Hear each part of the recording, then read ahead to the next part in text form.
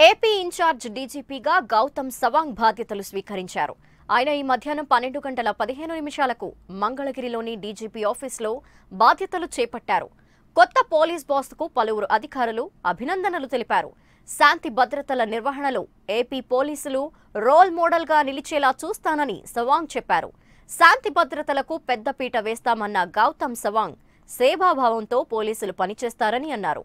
మహిళలు సీనియర్లు పిల్లల సమస్యలకు ఎక్కువ ప్రాధాన్యత ఇస్తామని హామీ ఇచ్చారు. అలాగే పోలీసు కుటుంబాల సంక్షేమానికి కృషి చేస్తానని చెప్పారు. బాధ్యతలు స్వీకరించడానికి ముందు సవాంగ్ ఇంద్రకీలాద్రికి వెళ్ళి కనకదుర్గమ్మను దర్శించుకున్నారు.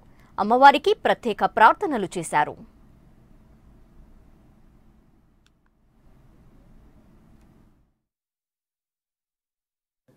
పోలీస్ స్టేషన్కి వెళ్ళారు. కంప్లైంట్ ఇచ్చినారు. ఆ కంప్లైంట్ ఏమైంది? ఓకే? ఇంతకుముందు గతంలో ఈ విజయవాడలో కూడా దే వాజ్ అన్ ఇనిషియేటివ్ ఏది? పోలీస్ స్టేషన్స్కి వెళ్ళి కంప్లైంట్ రిజిస్టర్ చేస్తే వాళ్ళు స్లిప్ ఇస్తారు మీకు. అక్నాలజ్మెంట్ ఒకటి ఇస్తారు. మళ్ళీ ఆ కంప్లైంట్ ఏమైంది అని మీకు ఎస్ఎంఎస్ రిసీట్ కూడా ఇస్తారు. దెన్ ఆ కంప్లైంట్ మీద ఎఫ్ఐఆర్ కట్టిందా లేదా?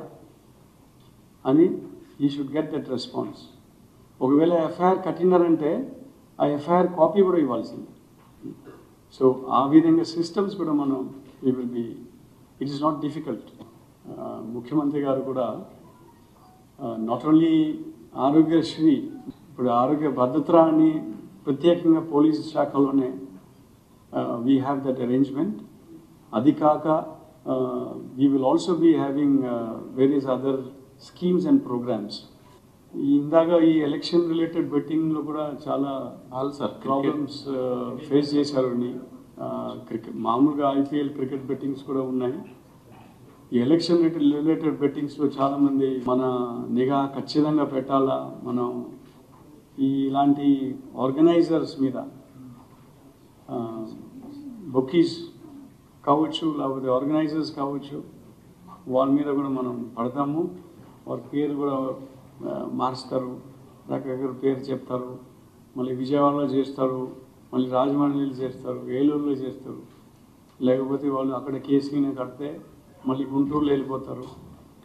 దీంట్లో మనం ఆ లీగల్ సెక్షన్స్ గురించి కూడా మనం చూడాలి.